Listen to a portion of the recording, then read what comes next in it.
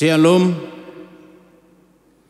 Jemaat yang dikasihi Tuhan Hari ini kita kembali kebaktian di rumah masing-masing Untuk memuji dan memuliakan nama Tuhan.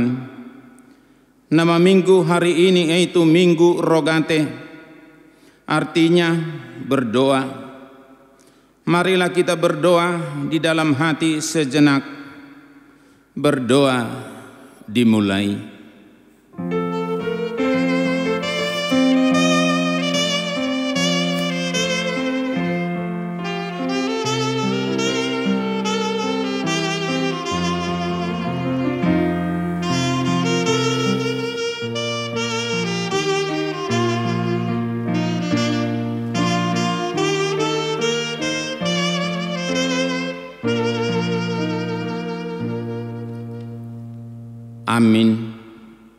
Kita mulai kebaktian ini dengan memuji dan memuliakan nama Tuhan dengan bernyanyi dari buku Ende nomor 654 ayat 1 dan 2 Merpungu Sude.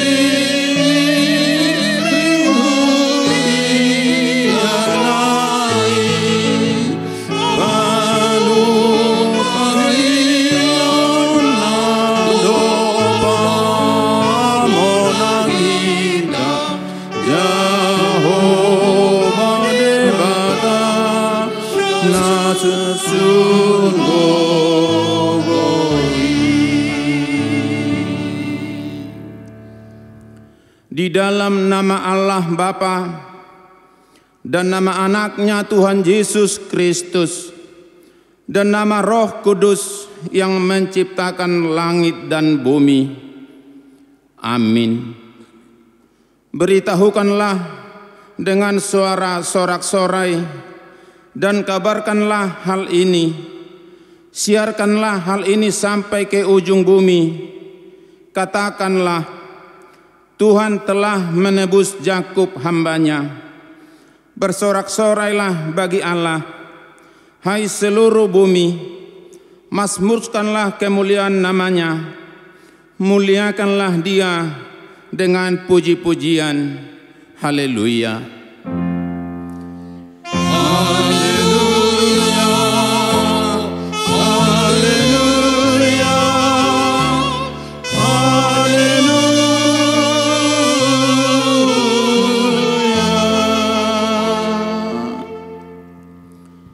Marilah kita berdoa.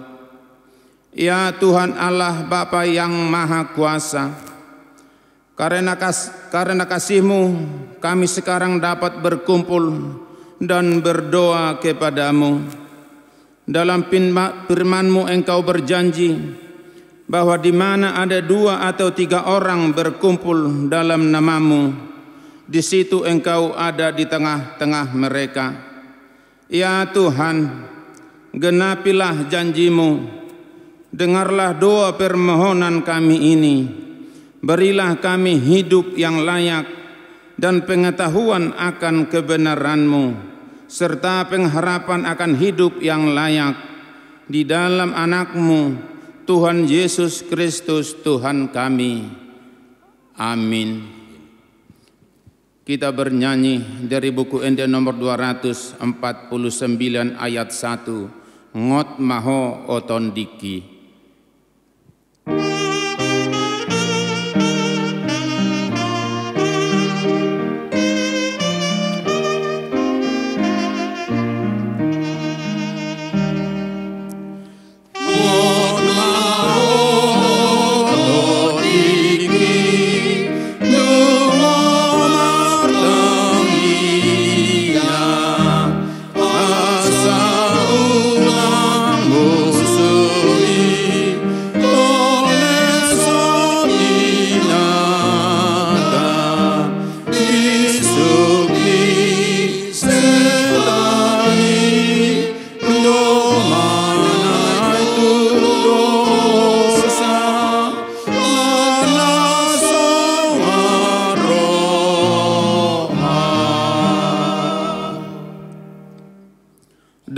diki. Dengarkanlah hukum Taurat Tuhan yang ditetapkan bagi kita pada minggu ini tertulis dalam Rom pasal yang ke-12 ayat yang ke-12 yang berbunyi Bersukacitalah dalam pengharapan sabarlah dalam kesesakan dan bertekunlah dalam doa Marilah kita berdoa untuk memohon kekuatan dari Tuhan kita. Ya, ya Tuhan Allah, kuatkanlah kami untuk melakukan yang sesuai dengan hukum-Mu. Amin. Kita bernyanyi dari buku Ende nomor 411 ayat 3 Nangpe Rara Dosamu.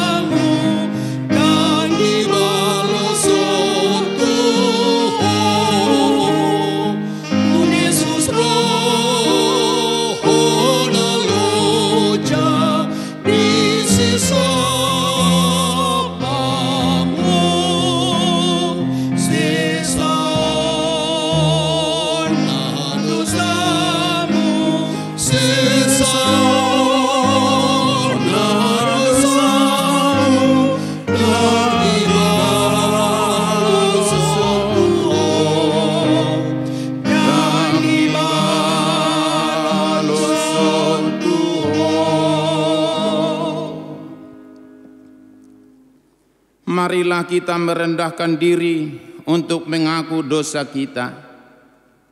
Ya Tuhan Allah yang Maha Kuasa dan Maha Benar, pengasih dan penyayang, bermurah hatilah Engkau ya Tuhan terhadap kami.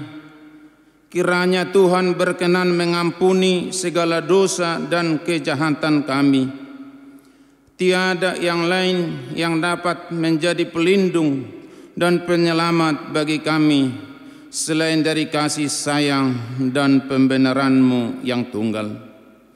Karena itu, karuniakanlah kami ketenangan dan penghiburan di dalam pengorbanan anakmu, Tuhan Yesus Kristus, Juru Selamat kami. Amin.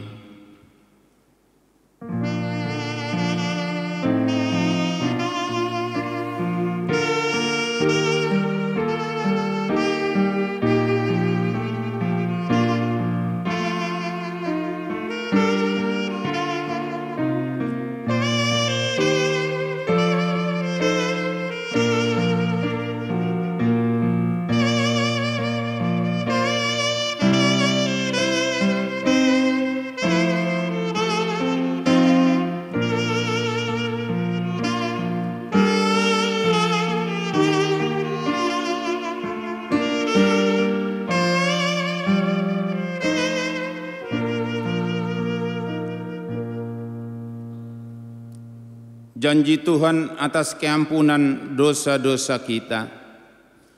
Demikian firman Tuhan. Tetapi engkau mendapati aku dengan dosamu. Engkau menyusahi aku dengan kesalahanmu. Aku, akulah dia yang menghapus dosa pemberontakanmu. Oleh karena aku sendiri dan aku tidak mengingat lagi dosamu. Kemuliaan bagi Allah di tempat yang maha tinggi. Amin. Kita bernyanyi dari buku Ende nomor 463 ayat 2 Pasu-pasum tongosonmu.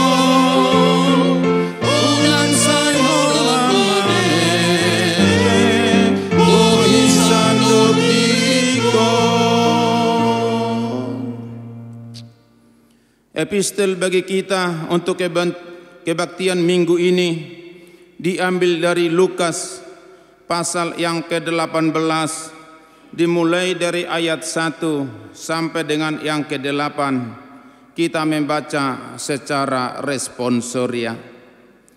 Yesus mengatakan suatu perumpamaan kepada mereka untuk menegaskan bahwa mereka harus selalu berdoa dengan tidak jemu-jemu.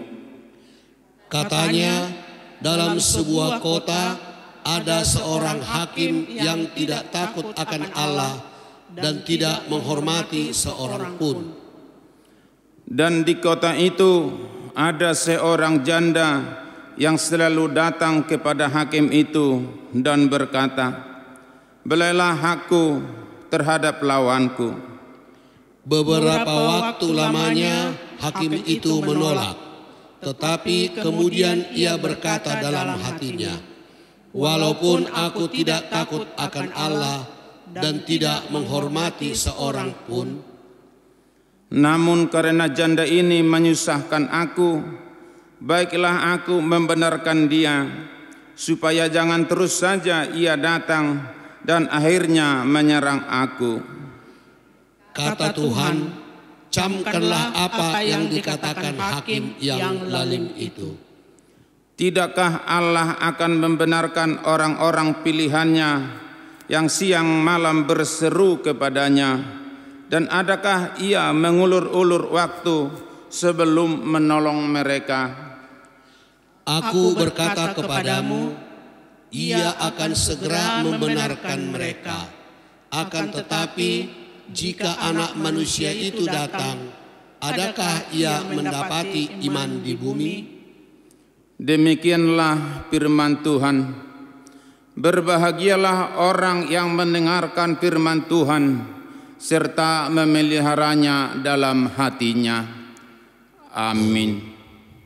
Kita bernyanyi dari buku Ende nomor 814 ayat sada ajari saya jari au Tuhaku.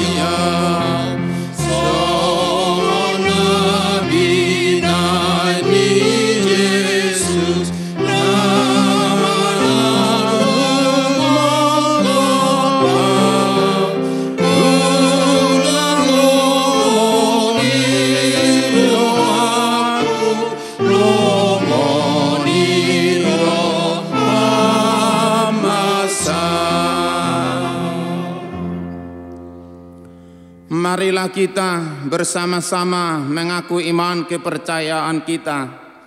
Sebagaimana teman-teman seiman di seluruh dunia, kita bersama-sama mengucapkannya. Aku percaya kepada Allah, Bapa yang Maha Kuasa, Kalik langit dan bumi.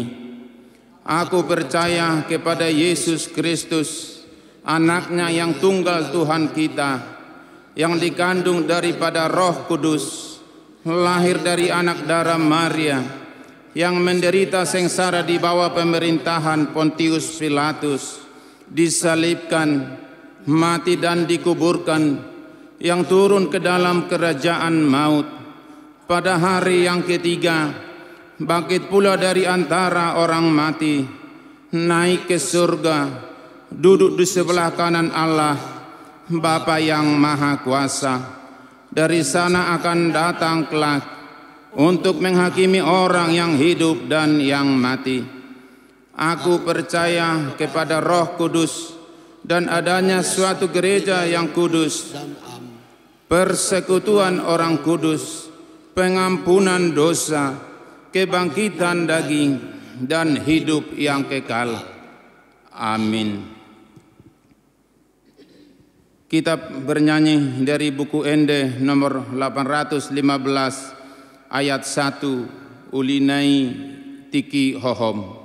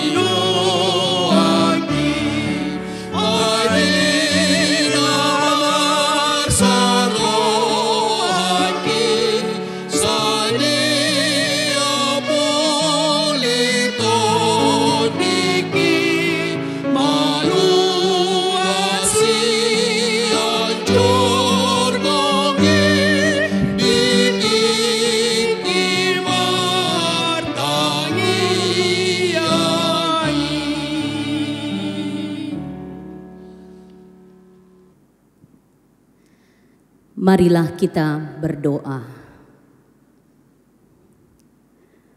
Damai sejahtera dari Allah Bapa yang melampaui segala hati dan pikiranmu akan disertai Tuhan Yesus Kristus, Juru Selamat kita.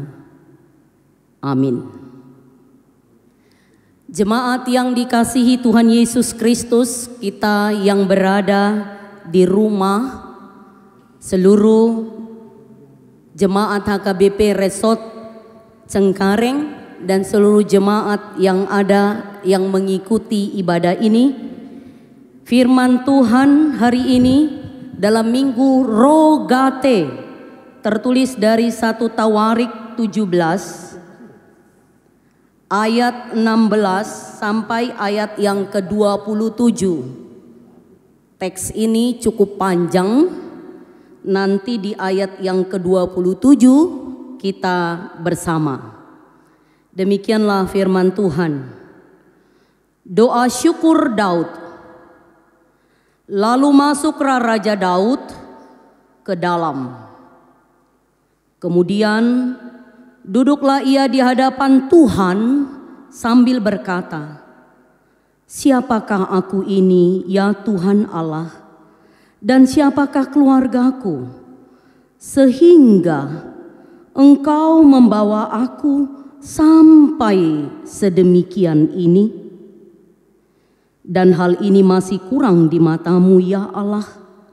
Sebab itu engkau telah berfirman juga tentang keluarga hambamu ini dalam masa yang masih jauh dan telah memperlihatkan kepadaku serentetan manusia yang akan datang, ya Tuhan Allah. Apakah lagi yang dapat ditambahkan Daud kepadamu dalam hal engkau memuliakan hambamu ini? Bukankah engkau yang mengenal hambamu ini? Ya Tuhan, oleh karena hambamu ini dan menurut hatimu, engkau telah melakukan segala perkara yang besar ini dengan memberitahukan segala perkara yang besar itu. Ya Tuhan, tidak ada yang sama seperti Engkau, dan tidak ada Allah selain Engkau. Menurut segala yang kami tangkap dengan telinga kami, dan bangsa manakah di bumi seperti umatmu Israel yang Allahnya pergi membebaskannya menjadi umatnya untuk mendapatkan nama bagimu dengan perbuatan-perbuatan yang besar dan dahsyat dan dengan menghalau bangsa-bangsa dari depan umatmu yang telah kau bebaskan dari Mesir. Engkau telah membuat umatmu Israel menjadi umatmu untuk selama-lamanya. Dan engkau, ya Tuhan, menjadi Allah mereka. Dan sekarang, ya Tuhan, diteguhkanlah untuk selama-lamanya janji yang kau ucapkan mengenai hambamu ini dan mengenai keluarganya dan lakukanlah seperti yang kau janjikan itu. Maka namamu akan menjadi tangguh, teguh, dan besar untuk selama-lamanya. Sehingga orang berkata, Tuhan semesta alam, Allah Israel adalah Allah bagi orang Israel, maka keluarga hambamu Daud akan tetap kokoh di hadapanmu. Sebab engkau ya Allahku telah mengatakan kepada hambamu ini bahwa engkau akan membangun keturunan baginya. Itulah sebabnya hambamu ini telah memberanikan diri untuk memanjatkan doa kehadapanmu. Oleh sebab itu, ya Tuhan, Engkaulah Allah dan telah menjanjikan perkara yang baik ini kepada hambamu. Kiranya engkau sekarang berkenan memberkati keluarga hambamu ini supaya tetap ada di hadapanmu untuk selama-lamanya. Sebab apa yang engkau berkati ya Tuhan diberkati untuk selama-lamanya. Demikianlah firman Tuhan. Saudara yang dikasih Kristus, selamat hari Minggu. Horas. Apa kabar Amanginang? Naposo bulung, sekolah minggu songoni tusudia kana tua-tua nami sai hipas sehat mahita songo kami di son akapadita nang akaparhalado HKBP Cengkareng do sude parhalado resort Cengkareng Saudara-saudara kita telah mengikuti hari-hari kita Secara umum kita lebih banyak berinteraksi di rumah saja. Tapi melewati waktu-waktu ini tak terasa seluruh orang Kristen telah memasuki Minggu Rogate. Ya. Jadi bagaimana kita sebagai orang Kristen mampu melewati waktu-waktu ini supaya tidak terasa, saya kira ada kiatnya ya. Saya coba membagi. Jadi kalau dulu saya remaja, saya dengar lagu si Krisdayanti. Nah, ada itu lagunya ya Inang ya. Menghitung hari. Nah, jadi kalau menghitung hari, bosan. Jadi kalau orang Kristen itu nggak menghitung hari dia. Kalau orang Kristen itu menghitung apa Mang Inang? Menghitung berkat. Berkat Tuhan mari hitunglah. Ah itu yang luar biasa. Bapak Ibu yang dikasih Tuhan Yesus Kristus, kita boleh cek ya negara-negara yang paling berkembang yang selama ini ikon adalah Amerika. Ya. Negara-negara Eropa umumnya, termasuk juga Jepang. Ya. Kalau kita lihat dari kasus pandemik yang terjadi, ini harus kita hitung berkat Tuhan yang luar biasa bagi kita. Indonesia. Dengan luasnya Indonesia ini bisa dihitung dengan 10 negara. Indonesia yang begitu luasnya, kita sudah melewati hampir dua setengah bulan.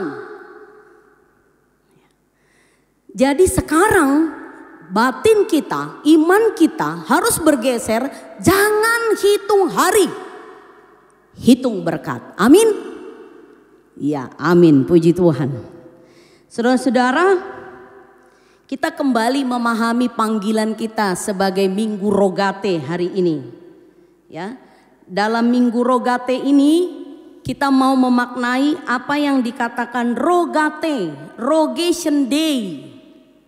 Ya. Ini berasal berakar dari Rogesan.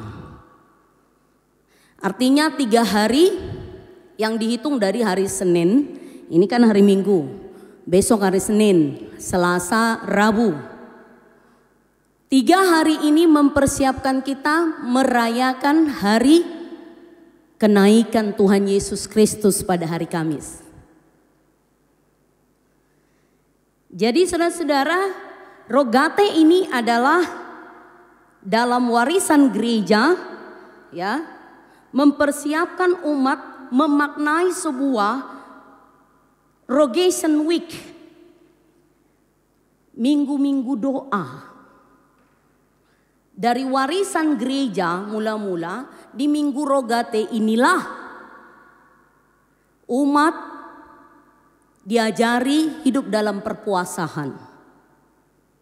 Dengan bentuk apa? Dengan bentuk berdoa. Jadi kalau saudara pernah dengar di gereja Katolik itu ada satu ordo yang tugasnya hanya berdoa terus. Itu bagian dari rohnya rogation ini. Jadi di minggu rogate inilah seluruh umat memasuki minggu puasa dengan doa-doa dan nyanyian-nyanyian yang menghantar menghayati Kristus yang akan naik ke sorga. Dan itulah kita rayakan hari Kamis ini. Saudara-saudaraku yang dikasihi Tuhan Yesus Kristus, rogate atau doa itu dipahami Martin Luther adalah nafas. Nefes. Hosa. Jadi tiap kamu, tiap kita yang Kristen ya, hidup dalam hosa kalau kita hidup dalam rogation, dalam doa. Apalagi di masa ini. Kalau kita tidak berdoa, tidak hidup dalam doa, yang terjadi jadi hosa-hosa. Iya bang ya. Makanya banyak juga nih orang muda masih muda, semangatnya kayak lensia. Tetapi lansia bisa semangatnya kayak Naposo Bulung, orang muda. Kenapa? Karena dia spiritnya, kekuatannya doa. Jadi ada terapi yang luar biasa. Kelompok-kelompok Taizi mengatakan banyak orang pulih dari terapi doa. Sambil mendengarkan musik-musik Taizi. Jadi salah satu ya siklus darah kita ini begitu bagus dan baik dalam kondisi-kondisi yang terbatas yang mampu membuat kita tenang doa. Jadi saudara-saudaraku jemaat HKBP di mana pun berada seharusnya kita harus hidup yang dikatakan kepada Martin itu, Martin Luther. Orang yang tidak hidup dalam doa, usah-usah madingulu. gasa-gasaon. Saya dua minggu yang lalu lihat di Facebook, ini baru Batak ini dari Medan, mangamu ibana, ibu tohodo Bapak Jokowi, ibu tohodo Bapak Jokowi. Kaget juga saya. Tidak bisa dibohongi orang yang hidup dalam doa dan orang yang tidak hidup dalam doa. Orang yang hidup dalam doa, nafasnya begitu banyak yang bisa memproduk pikirannya jauh lebih smart, lebih baik. Itu makanya minggu ini penting bagi seluruh umat dirayakan. Perayaan Rogate ini bahkan disambut banyak jemaat, banyak nama anak ta si Rogate. Bahkan Poho Puta, Rogate, memang nama itu keren ya. Rogation Day. Saudara-saudaraku yang dikasih Kristus, saya belum masuk kepada teks khotbah. Saya ndak tahu nong dijulut tado amanginang rap akanak kota ibadah tikion. Kalau ada anak kita sekarang masih tidur, siap mi, manang pahupum, manang amata, manang inata. Ini di skip dulu khotbahnya. Bisa kok dimatiin. Tek. Duduk dulu semua keluarga. Sayang kalau kita tidak dengar khotbah Rogesen tahun ini. Ini tidak terulang tahun ini. Ini hanya sekali. Mari ya Mangina, keluarga kita yang belum duduk bersama saat ini, mari panggil supaya sama-sama dengar firman Tuhan. Oke. Baik saudara-saudaraku, di minggu ini kita dibawa untuk menghidupi makna doa Daud. Ya. Siapa yang tak kenal Daud? Bagi orang Yahudi, Muslim, Kristen dan seluruh agama kenal siapa Daud. Daud ini diagungkan sebagai leluhur Mesias, luar biasa ya. Akan ada lahir dari keturunan Raja Daud. Tidak ada dibilang Raja Nathan. Nggak ada dibilang Raja Saul. Keturunan Raja Daud. Nama Daud diagungkan sebagai lelur Mesias. Meskipun kedudukannya sebenarnya tidak ada apa-apanya. Dan itu terungkap tadi di doa Daud sendiri. Ya. Dia hanya seorang cicit, seorang asing Ruth kita ingat Ruth ya. Ruth dari seorang Moab. Dia anak Isai yang termuda. Kalau dia anak bata idoko si bontot mei. Si puden. Ya. Dia bersaudara delapan terakhir. Jadi dia nomor satu, nomor dua, nomor tiga, nomor empat, nomor lima. Kalau kita ingat proses pemilihannya itu luar biasa. Apakah ini? Tidak. Yang nomor dua mana anakmu? Tidak. Nomor tiga? Tidak. Apalagi masih ada anakmu Isai? Masih ada. Alai laudu ibana. Marmahani. Jauh. Dia anak bontot. Dalam warisan orang Batak, ya Anak Syepudan itu tidak pernah terhitung. Lomo-lomo ni siak kangen doa hana itu sih. Tetapi banyak catatan siapakah Daud dalam perjanjian lama. Yang kecil, nagelengi. Kalau kalau masa mahasiswa kami, si Daud itu komon keju. Ya. Kecil-kecil, alai jugul. Jugulnya masuknya gigi keju. Dia berani, berani lawan Goliat loh. Jadi jangan sepele loh sama orang kecil. Ya. Bahkan ada pernah lawak bilang ya, kenapa orang kecil itu pintar? Karena otaknya sama apanya nggak jauh jaraknya katanya. Itu Daud luar biasa itu. Dia bahkan nama dia disebut diabadikan menjadi kota Daud. Ya, kota Jerusalem disebut kota Daud. Kalau pergi kita ke Jerusalem, orang itu mengenal kota Daud Jerusalem. Luar biasa. Saudara-saudaraku yang dikasih Kristus, memang dari catatan kitab raja-raja, Raja Daud itu adalah raja yang keren. Tetapi meskipun sederetan prestasi keberhasilannya, karakternya yang sangat kuat, ya, attitude-nya yang sangat-sangat baik. Tapi luar biasa loh Bapak Ibu. Ya, utamanya kamu napa sebelum attitude Daud itu ya. Segudang prestasi dia dapat dia tumpukan kepada negara Israel. Tapi attitude-nya baik banget. Itu terlihat ya di seluruh presentase doanya. Tangyang mana soboi yatur hatur narosian perbaga sedui mabaur tu luar. Tidak terlihat sedikit pun kesombongan, tidak ada keangkuhan. Meskipun Daud itu penuh anugerah Tuhan.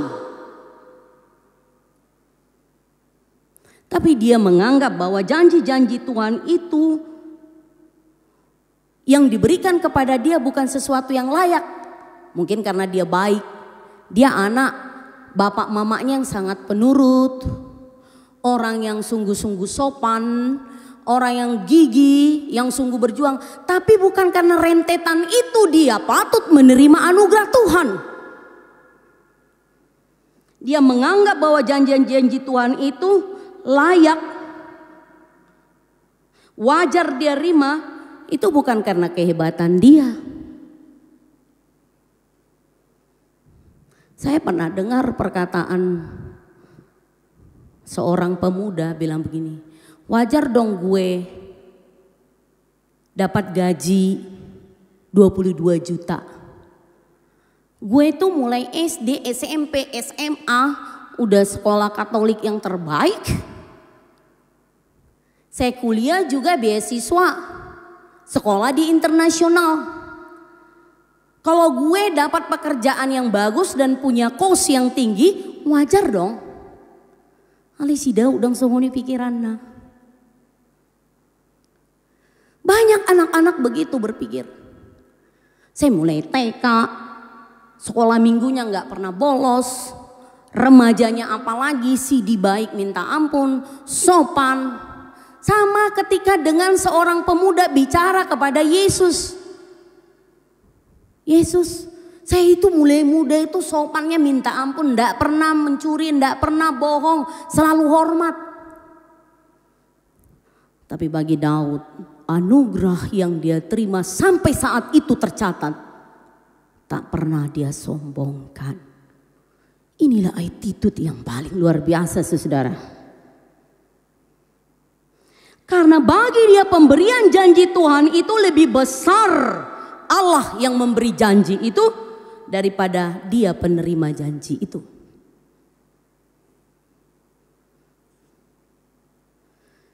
Jadi begitulah saudara-saudara tiap kita seharusnya menerima janji-janji Tuhan itu. Kita penerima anugerah Tuhan, menerima berkat-berkat Tuhan semata-mata.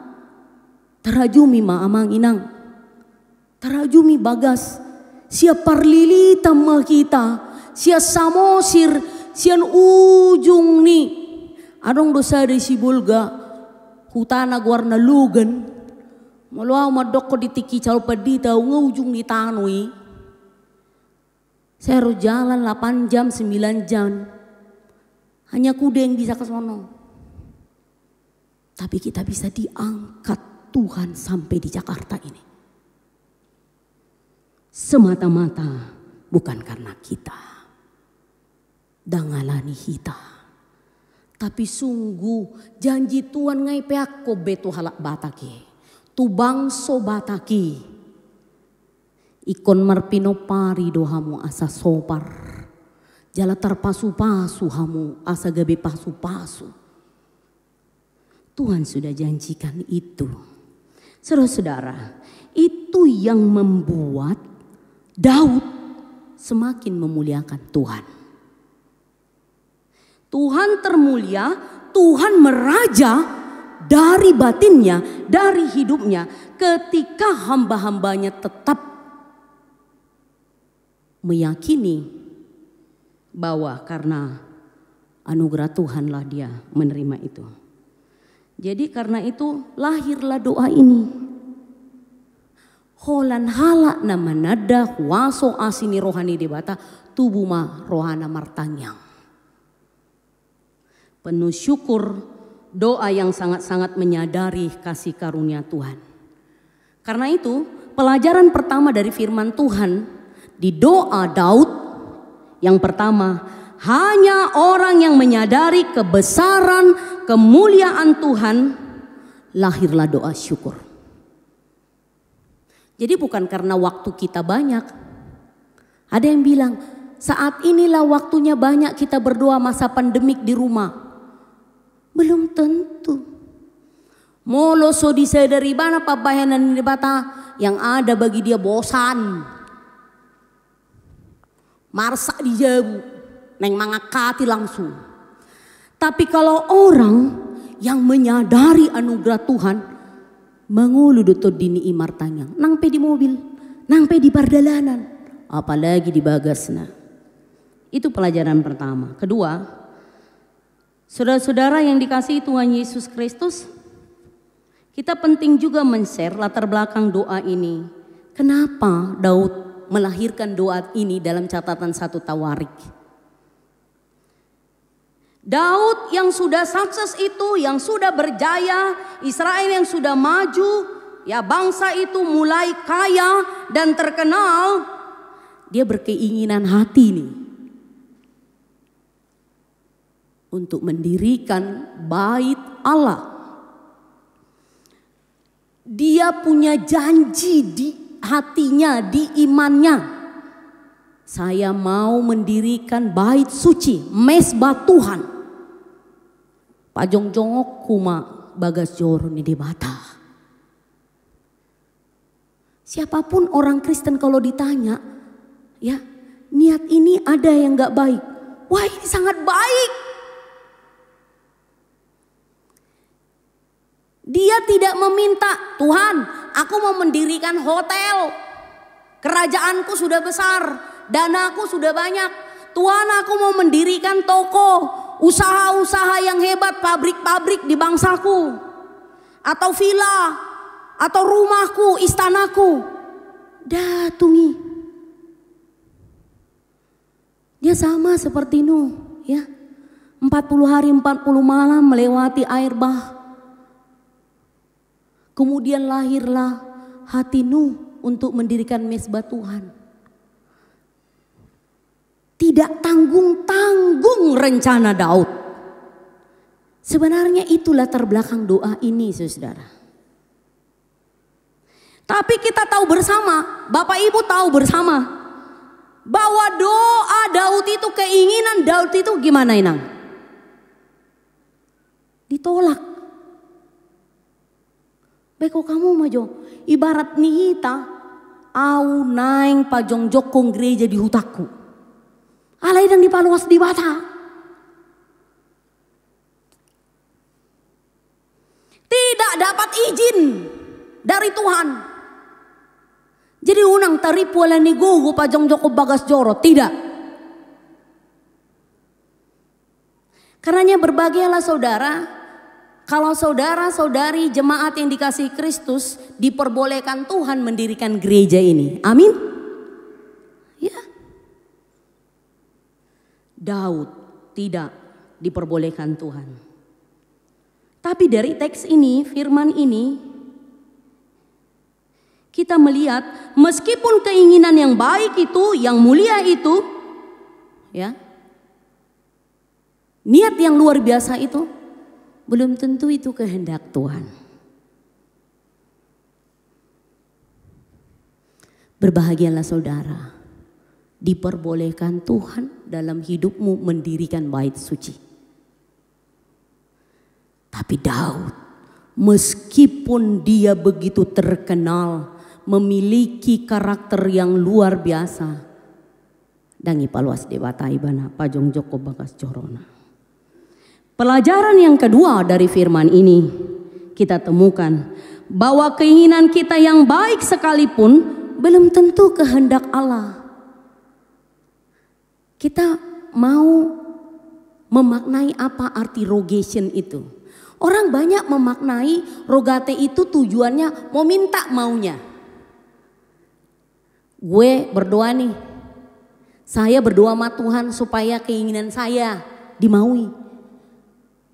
Dengan firman ini kita belajar berbeda. Sebab itu kita perlu cari, mengerti apa kehendak Tuhan. Ini yang penting rupanya dalam pelajaran yang kedua ini.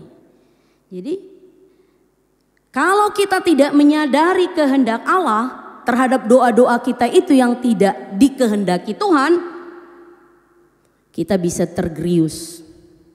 Kita bisa terjerumus, kita bisa tersandung dengan doa-doa kita itu.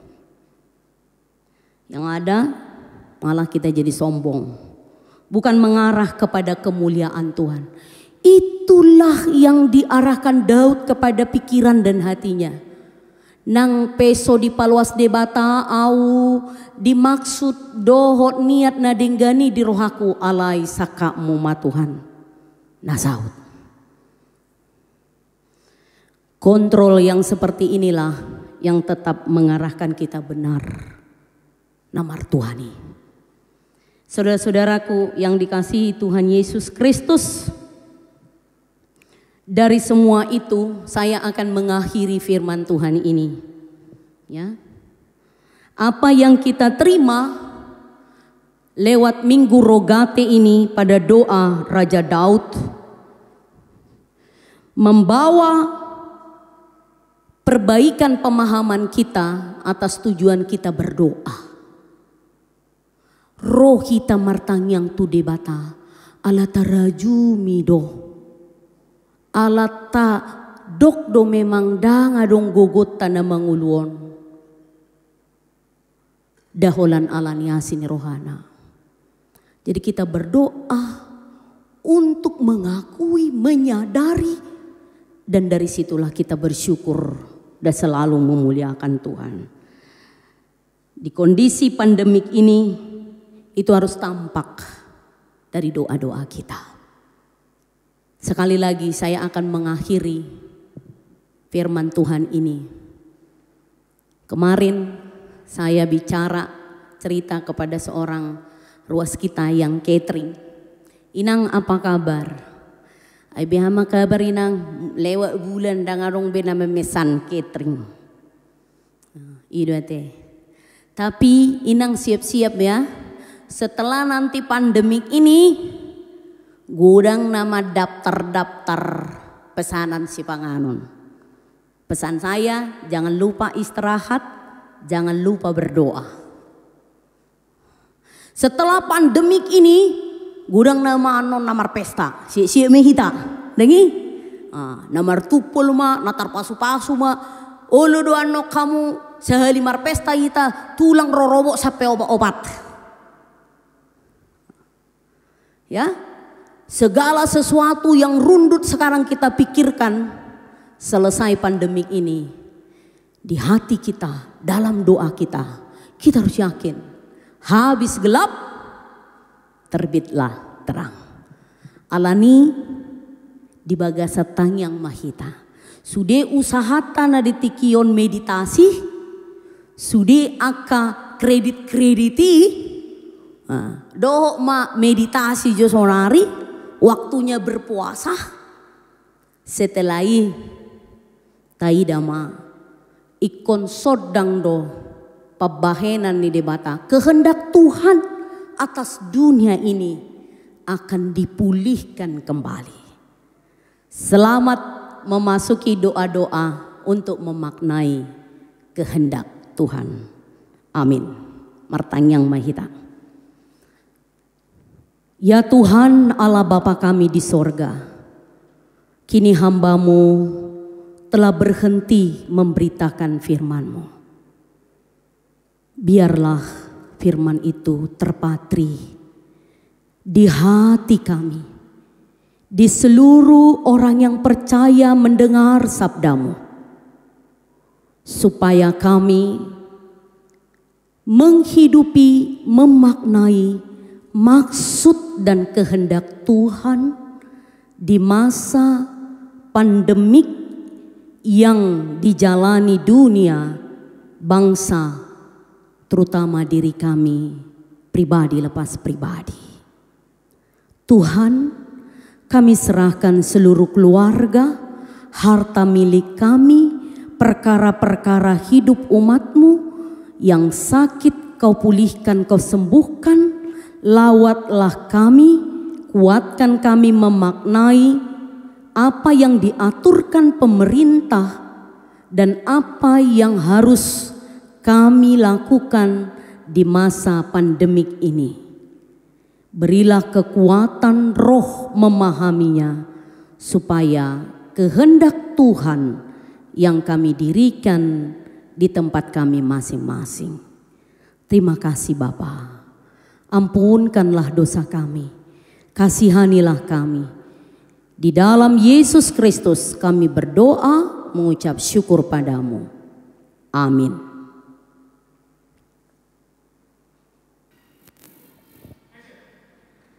Saudara-saudara kita akan bernyanyi sambil mengumpulkan persambahan dari buku ND nomor 754 ayat 1 dan 2 Gok Lasni Roha. Música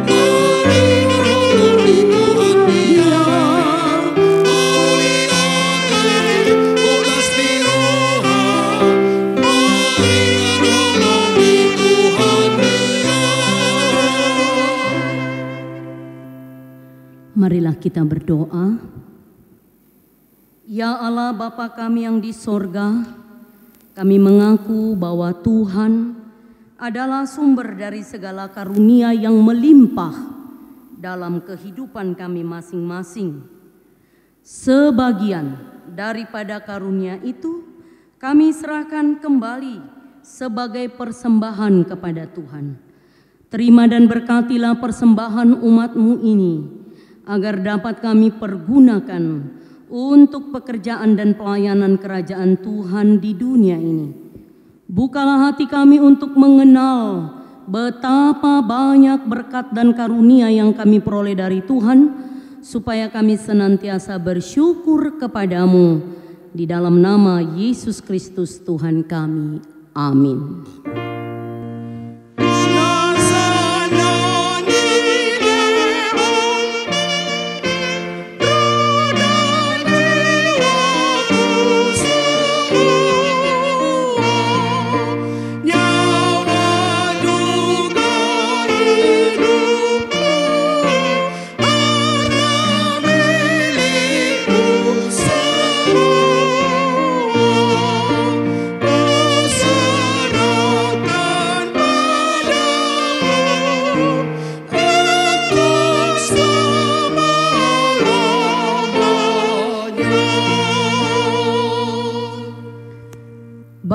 Kami yang di sorga, dikuduskanlah namamu, datanglah kerajaanmu, jadilah kehendakmu di bumi, seperti di sorga.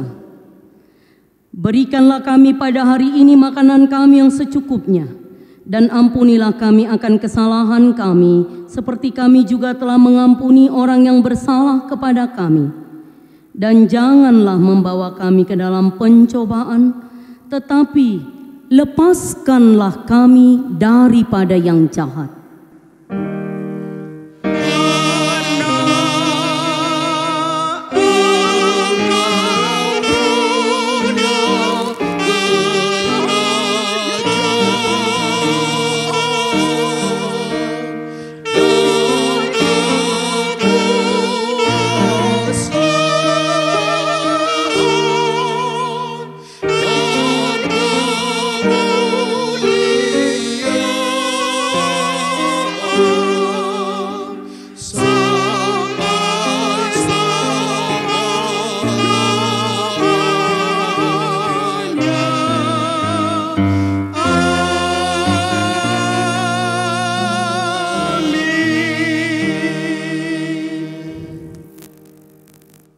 Tuhan memberkati engkau dan melindungi engkau.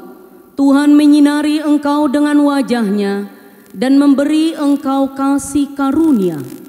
Tuhan menghadapkan wajahnya kepadamu dan memberi engkau damai sejahtera. Selamat